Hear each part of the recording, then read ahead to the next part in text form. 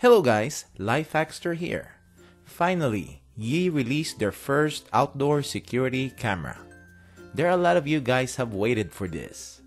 I made a couple of videos a while back and reviewed two outdoor cases designed for a drop cam or the older Nest cameras that can fit the Yi home camera. But both of them are now out of stock and I guess they are not manufactured anymore. So, this camera is the answer for those that are wanting the video clarity of the Yi in a weatherproof outdoor design. Let's check out the camera's features. It has a 1080p resolution and records at 20 frames per second. It has a 110 degrees wide angle lens. It is weatherproof, so rain, it is IP65 rated, sun or snow, it has an operating temperature of up to 122 degrees Fahrenheit and can go as low as 5 degrees. It has a night vision with 12 infrared LEDs that can reach up to 50 feet. It has a two-way audio, and it has a deterrent alarm. Now, this is motion triggered and cannot be activated manually. I'll show you later on on how it sounds. It has a 10 feet cable, which is in the short side. You will have limited mounting options with this and it uses a highly sensitive algorithms for motion detection. They are not using a PIR sensor, but uses the camera's footage plus software in determining if there is a motion activity or not. Now, Yi marketed this camera with their cloud storage, which you will see all over the box, and their flyer, but it doesn't mention anything that it records to a micro SD card also. We will talk more about that later. So, let's open up the box.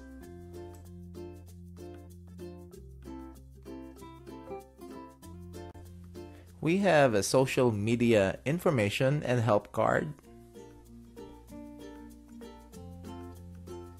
And we have the flyer for their cloud service.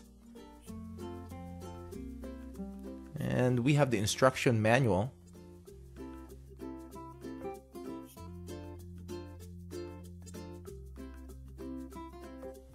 we have the limited warranty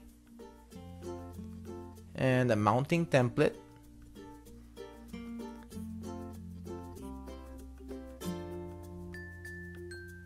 And a pretty cool window decal. The real safety cannot be taken away. Hmm. now on this box we have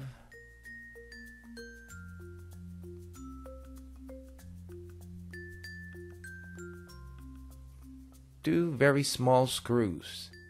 These are the extra screws for the SD card cover.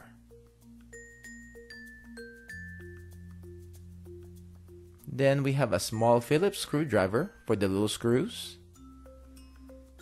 And we have some cable clips, 8 of them. Then we have some screws and plastic anchors. Now take note that there are 10 screws and anchors.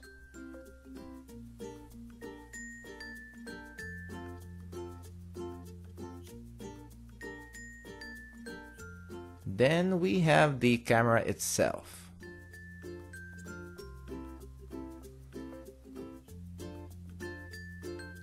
It has an off-white color and made of hard plastic and is pretty light. It looks and feels durable. It has a screw attachment here in the back.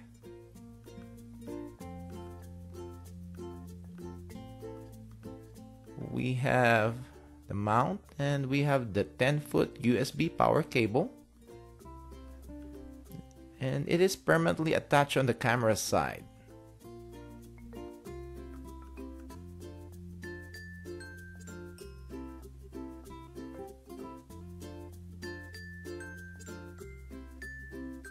Then we have the uh, power brick, just like their other cameras. Output is 5 volts and 1 ampere. Now guys, the power brick and the USB cable plug are not weatherproof. So when installing outdoors, you will need a weatherproof outlet that the cover has enough clearance for the power brick and the USB plug plugged in. I think it will in my case and we'll check it out later during the install. Now we have the mounting plate and it is a ball joint so that it can easily be adjusted. Now everything here in the mount is plastic, hard plastic, no metal, so nothing to rust.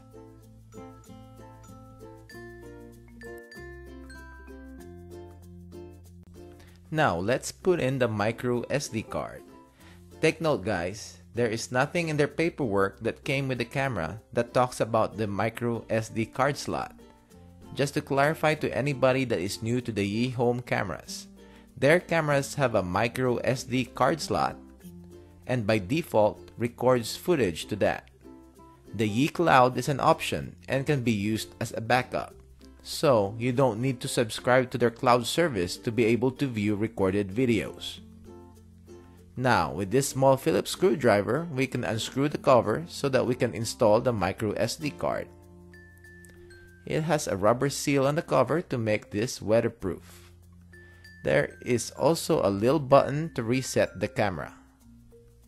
Now, we just need to put in the micro SD card, push it in until it clicks.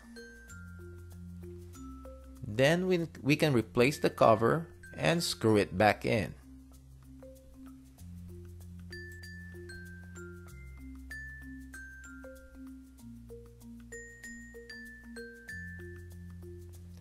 As you can see in the front lens of the camera are small holes for the status light on top and I guess the mic on the bottom.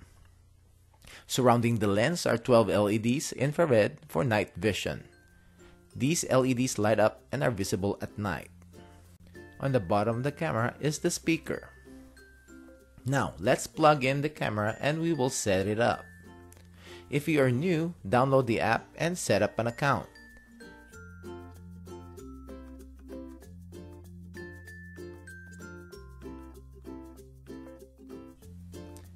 If you already have an account, just click the plus button on top. Choose the Yi outdoor camera.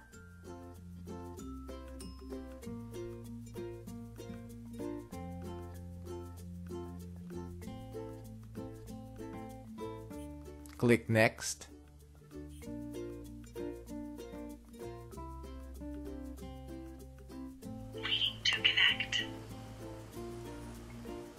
Click I heard waiting to connect. Then type in your Wi-Fi's password click Connect to Wi-Fi. Please face the QR code towards the camera lens and wait for it to scan. QR code scan is successful. Connecting to Wi-Fi.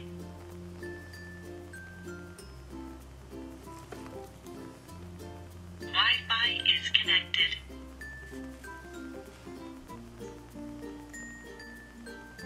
Pairing is successful. Pairing is successful. You can start using your camera can start now. using your camera now. I'll name the camera Outdoor.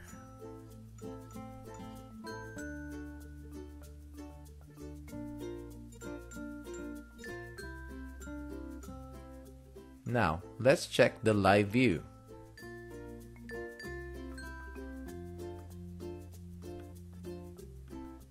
It opened up pretty quick.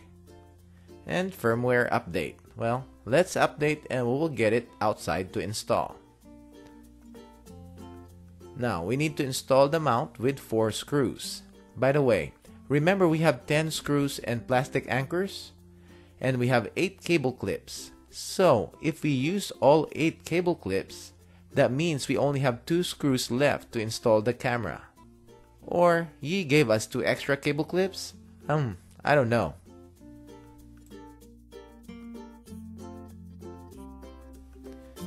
Anyways, I unscrewed the ball joint first so that I can install the mount without the camera dangling around. Then, just screw it back in and position the camera and you can lock the position by tightening the screw ring.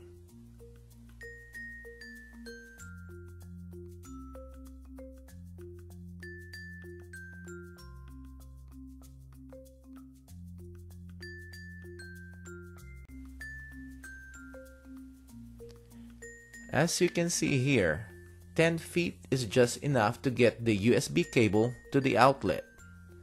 Also, I have this type of weatherproof outlet that has a cover that should have enough clearance to plug in the camera. The camera's plug will stick out at least 2.5 inches out, so make sure you can close the cover to make this weatherproof. Also, on mine, you can lock it with a padlock so that it will be harder to unplug. Now with my wired ring spotlight camera, you can see here that I still have a lot of cable left and it is installed way farther out than the Yi camera. This is not going to be a permanent install for the Yi and I installed it here so that I can just do a comparison video to the Ring Spotlight camera in my upcoming videos. After tucking in the cables a bit, I didn't use the cable clips yet. This is the Yi outdoor setup temporarily.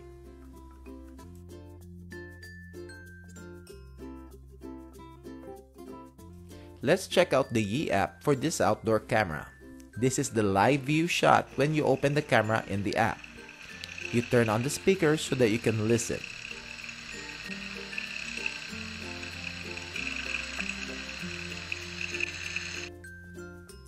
Clicking the gear icon on the top right corner will take you to the settings. We have the status light here, where you can turn off the blue light, image rotation if you want to flip the camera's view, lens distortion correction if you want to minimize the fisheye effect.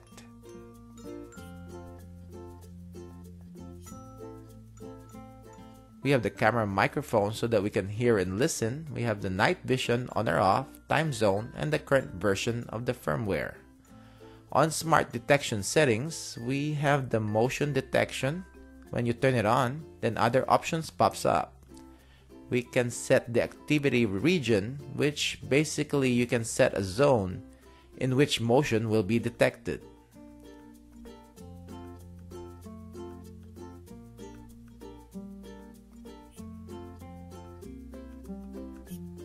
You can drag and resize.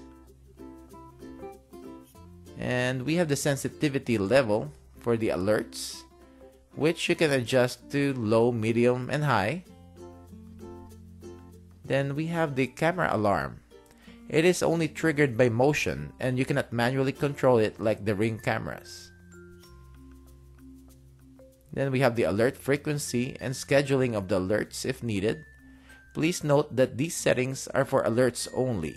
Motion detection recording is on and always going to be recording as long as there is motion. Now, on the live view mode we already checked out the speakers.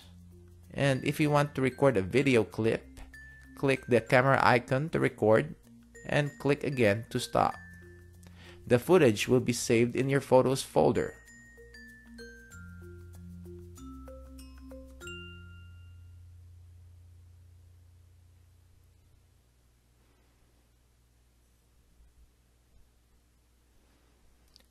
Now we have the mic which you need to push and hold to speak and release to listen.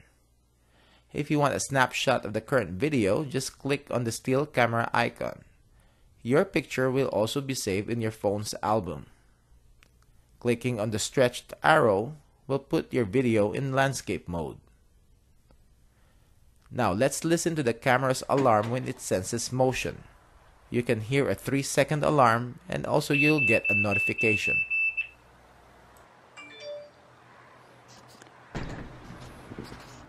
Now let's test the two-way communication. Can you? I'm doing good. I can hear you. Try it again. You say hi, Daddy, again. Hi, Dad. How are you doing? It's a little bit low. I'm doing good. I'm just testing out the new camera. Thank you. Hi, Daddy. What are you doing?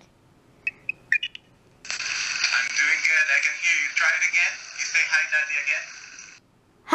Hi, Dad. How are you doing? A little bit low. I'm doing good. I'm just testing out the new camera. Now, here are some footage. This one is late afternoon. 7 o'clock. So it's getting dark outside. And this is a test of the Yi outdoor camera, audio and video quality.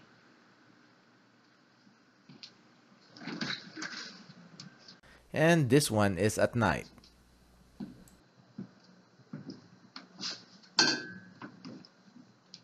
This is a test of the outdoor camera's night vision.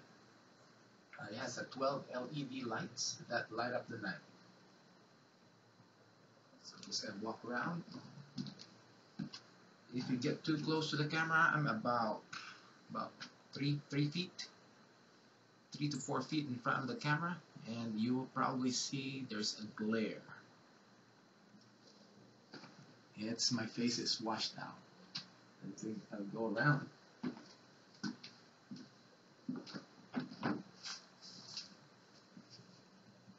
This is probably the, the best position right here where you can see me clearly.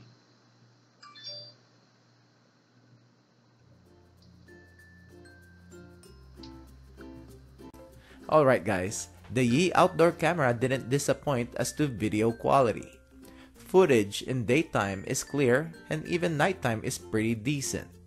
My only complaints will be that it is wired and only has 10 feet of cable. If you're planning to drill a hole in a wall, ceiling, or in the soffit, you'll be needing a bigger hole at least 3 quarters to an inch in diameter to get the USB plug to go through. The other thing I noticed is that the box, packaging, and the instruction manual that came with the camera didn't mention anything about the micro SD card slot and that you can use a micro SD card to record. Seems like they are marketing and pushing their cloud service with this camera. Saying it again, the cloud service is optional and the camera records by default to a micro SD card, which you need to put in. It accepts 8 to 32 gigabytes class 4 and above micro SD card. I'll be comparing this camera with the Ring Spotlight Cam and also with the Yi home camera that I have installed in an outdoor mount in my upcoming videos. So stay tuned. Thanks for watching guys and don't forget to give this video a like. Subscribe to my channel for product reviews and everyday life hacks. Thank you.